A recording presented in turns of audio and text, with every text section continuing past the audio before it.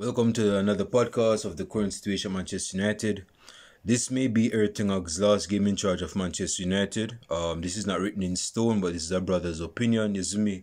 Um, we're going to be playing against Liverpool come on Sunday. I've said at the first of the beginning of December that this is a time period where we're going to see how ten Hag flexes his squad. We had games against Copenhagen, no, actually Galatasaray and Bayern Munich, and we have like two games per week in the Premier League. Is me, so we needed to see how everything has flexed the squad. Ever since, it has been very poor. We drew against. We did we drew against yeah we drew against Galatasaray after being at least two 0 up. We lost against who lost against? Um, I know we lost against somebody, but I'm not remembering right now. We could get three points against Chelsea though. That's kind of a consolation prize, isn't it? But we lost against Bayern Munich, and we lost three 0 to Bournemouth. So it seems as though he's not. Be, I mean, he's never. He's not been competent this season as a manager. Everything out. And we lost against Bayern Munich 1 0, which could have been 3 0, but we lost 1 0, isn't it? Because Bayern Munich didn't want to pour rain on us like that. But we have a game against Liverpool now against on, on Sunday. and this is a game where we can get trashed at Anfield. Now, do I see it happening? Given the form of Liverpool? No, not really.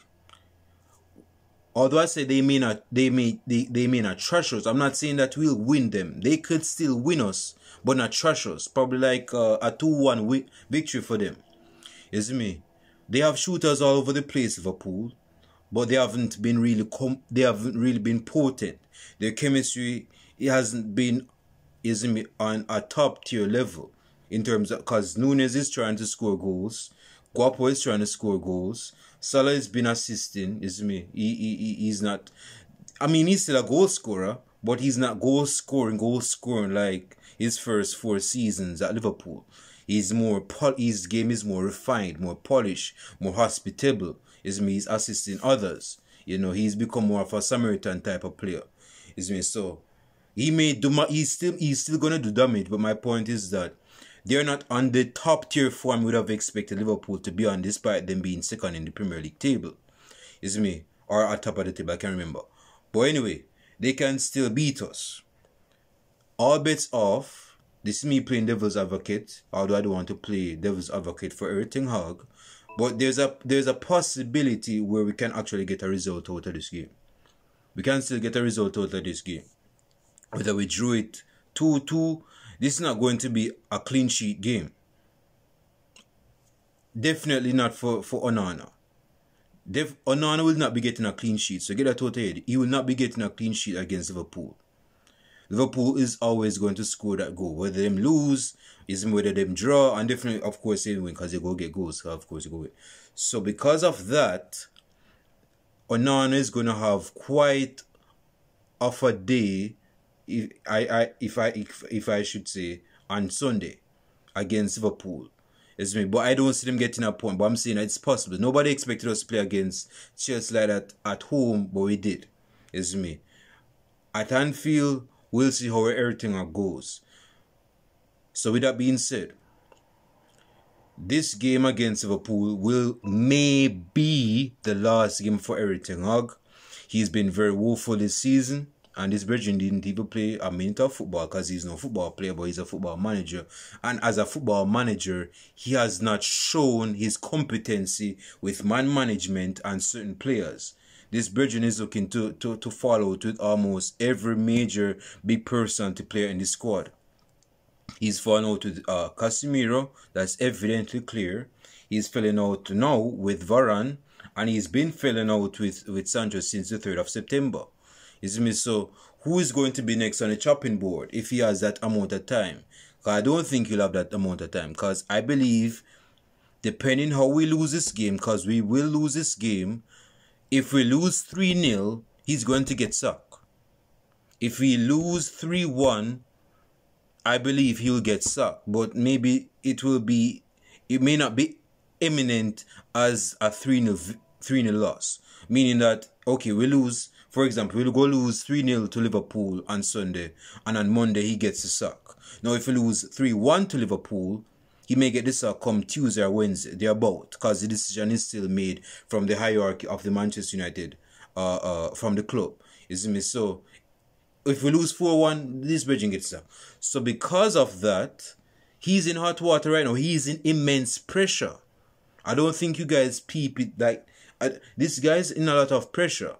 And right now, he's on grace period where he, if he loses one more time, that's that's the lights for him. Lights are out for him. He's not going to stay at Manchester United as Manchester United's manager. Now, if Manchester United does not suck Erik ten Hag, and we lose 3 0, and we lose 4 0, and we lose 5 0, like we did a couple years ago, and he's not sucked on Monday, that shows you that this, this club is not decisive. If this was Real Madrid, he's gone. If this was Chelsea under Roman Abramovich, he's gone.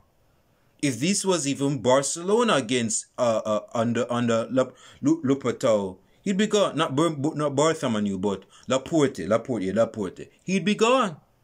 He would not see the light of the the next day. He'd get sucked.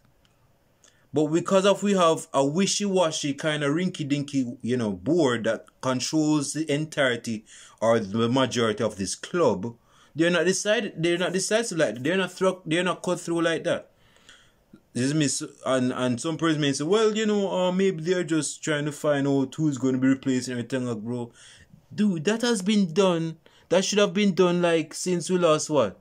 Since Bournemouth, or if you want to take it to the extreme, since we lost, since hell, since this season. It's since this season, man. It's just like a girl, man this girlfriend, isn't me, she doesn't, you know, she's come to the conclusion say, you're not that guy no more. She still stays with you. But best believe if you're that guy that she's with and and, and, and she, she don't like it like that no more. Best believe that this this this girl is entertaining some bridging on the side. Is me. She have some names on her lump stamp that on her lump stamp that she's gonna entertain after you're after you get binned out. But she's still with you. She hasn't pulled the trigger on you as yet. And when she pull the trigger on your jet, that's when she go to the new guy. So with Manchester United, they could be this undecided on who is going to come in, but best believe that this brethren, the rig is up for, for everything. How got Manchester United. It's up for him. He's up for he's he's going to get the sack. It's imminent. It may be delayed, but it will not be denied. Is me. As corny as it sounds, the sucking may be delayed on Monday, but it's going to happen. It's going to happen. It's, he's not going to he's not going to come out of December. Just like Michael Corleone said, said, said to, to his brother, uh, Fredo Corleone, when he was about to take out Hyman Roth, he said that Hyman Roth is not going to make it. He's not going to see New Year's. Erik Ten Hag is not going to see New Year's, man. He's not going to see New Year's at Manchester United. He's not going to see New Year's. If he does, then of course this this this this board is trash. This this board has no clue of what to do when it comes on to incompetent managers. They're undecided. They wait. They wait. They wait. I guess they're waiting for a 10 0 loss or something. I, who knows? But they don't have the ruthlessness to pull a trigger. You they're not decisive like they're not ruthless or assertive like that. But going back to the game against Liverpool, I don't want this video to be long we can get a we can get a, a result. I must say that with Chase, we can get a result out of this game. Liverpool haven't been there. Liverpool haven't been at their best. They haven't been at their best. Their defense is leaking holes. Their defense have leak holes that we can exploit. Is me. The question is, will we will we be able to exploit those looping holes in their defense?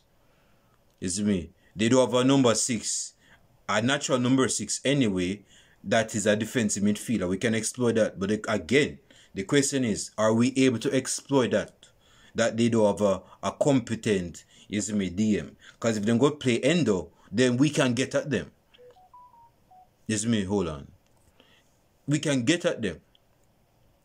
Is me, uh, yeah, so yeah, we can exploit the defense, bro.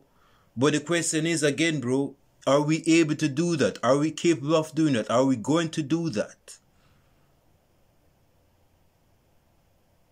In terms of Liverpool, like I said, man, we're not going to get no clean sheet in this game. We'll be lucky to get to concede two goals. Given the name on paper with Salah is me. Um, I was about to say money. Uh, giving players like Salaman, they have Nunez, they have Gakpo, they have Diaz, they have Szoboszlai, uh, however his name is pronounced. You know, the, the, the whatever Gerrard. They believe this brethren is the next Steven Gerrard, like the second coming to Steven Gerrard. If this brethren start clicking against us, then we're, we're going to have a, a uh, we're going to have a long day on Sunday. We're going to have a long day on Sunday. And it's funny because we're playing on Sunday. This may be a funeral procession, man. This is a serious bet that we can still actually lose this game. And I'm not looking positive about this game, man. Seriously. Because everything has gone so, so down into the ground in terms of his managerial career with Manchester United that a, a brim of flight seems distant. A brim of flight seems like a big ask, like he's not going to get that light. Dude, he's this he's not he's he's at a point of no return. He's not going to win by the favor of Manchester United fans, the ones that want him out, like myself. He's not going to restore the the relationship that he's lost with Casemiro, with Rafael Varane, uh, uh, with Jadon Sancho. He's not going to restore that. So who is this Bridging going to going to stay as manager after we lost, we lose against Liverpool? It's just not going to happen. But going into the starting lineup, Onana in goal. Onana in goal. Um, hmm. Will Wan-Bissaka be starting? I believe Wan-Bissaka will be starting this game. Diaz has not been in the best of form and uh, when it comes on to 1v1, Wan-Bissaka is the best man, isn't me. He's the best man. You go to this brethren, he's the best man. Centre back, given uh, Erting's love relationship with Maguire, I see Maguire starting in this game, along with uh, Victor Lindelof. If Varane starts this game, then good. But do I see it happening? No, I don't see it happening. Um, left back is the real question. Reguilón can start. Luke Shaw can start. Uh, and I don't even want to see Luke Shaw left center. Dude, listen to me right now. I do not want to be seeing Luke Shaw left left centre back. We see how this Belgian player is centre back against Bournemouth. Not Bayern Munich, not Barcelona. Bournemouth at home. No one wants to go over that that that that, that crime scene. So let us move to the left back. I see Dalot starting left back against uh Salah. Yeah, left back. Um, yeah, I see Dalot starting left back against Salah. Um, in midfield is Amrabat. Amrabat is going to be an automatic start.